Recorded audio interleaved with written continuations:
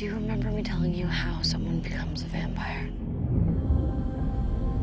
Hello, my lovelies. Are we ready?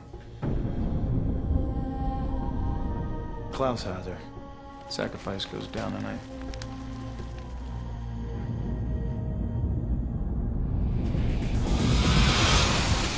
So when do we attack? Please end this. So that's what a werewolf bite looks like. It's not that bad. He's got Jenna, Stefan. Please just let her go. You were supposed to keep her safe. Trust me, you do not want to mess with me right now.